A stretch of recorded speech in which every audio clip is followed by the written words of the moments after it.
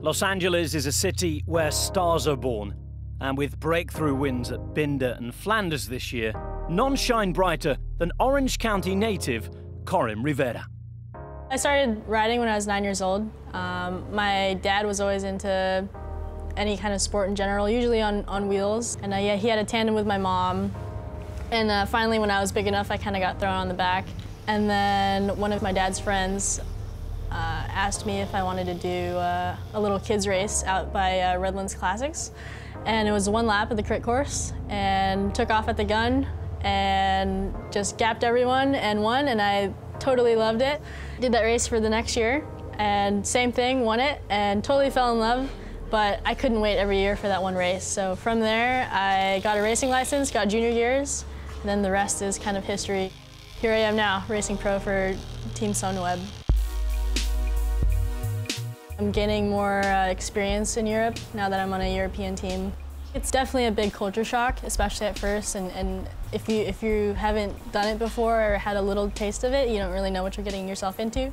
So I think that's um, a decision that kind of holds people back from, or Americans, uh, to go over to Europe.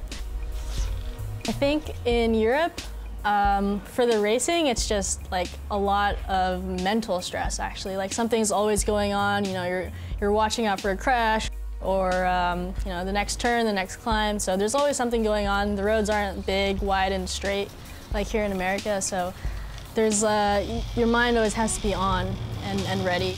European cycling is like doing an American crit, but for, you know, 120, 130, 150K. So it's just so aggressive for three, four times as long as an American crit. An American just won the Ronde van Vlaanderen. That is a superb victory from the young sprinter. It was actually a little life-changing, like uh, around the team house, uh, yeah, I'll be training in, in Limburg and uh, a local will roll up and kind of kind of scare me because I don't expect anyone to try to talk to me.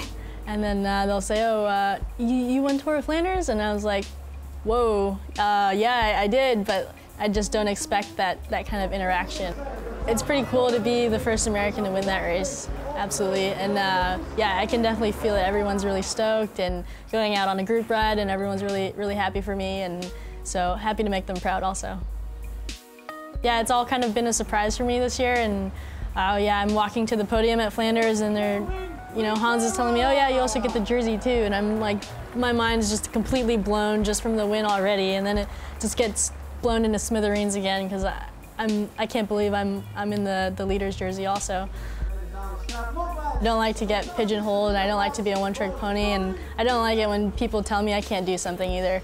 Um, and uh, I guess that's a little bit of fuel to the fire, but um, yeah, I like a challenge and, you know, whatever it takes to, to get across the line, you know, I'll figure it out and I'll, I'll do it. Maybe uh, I'm surprising them a little bit more, or I guess less now that I'm there a bit more often.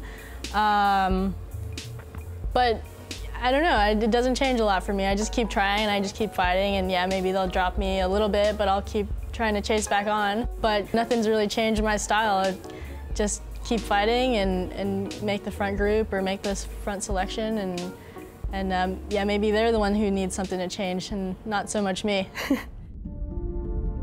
but these prestigious wins might have never have happened for the young 24-year-old. I did crash in Tour Qatar in 2011. I had like a really, really major concussion. Um, was like knocked out, don't remember the next four hours. I had stitches in the back of my head. I uh, had road rash like on my eye. That's the scar that I have from it, and on my across my lip. That almost, I think, took me out of the sport. And um, and it was also at that moment when I thought, yeah, I should probably go to school, you know, because at any moment, racing or training or whatever it could be, um, yeah, it could be gone. And so that was a little bit of a, a wake-up call for me. From there, you know, have time to think, okay, do I really actually want to do this? And then from there, it was like, yeah, I actually do. I've spent so much time away that I do like this, and I do want to go, you know, the full nine yards with it. I think I definitely have like a, a, California state of mind for sure. I definitely do kind of approach life pretty laid back, but uh, I don't know how you would explain it entirely because it's just, it's just what I do.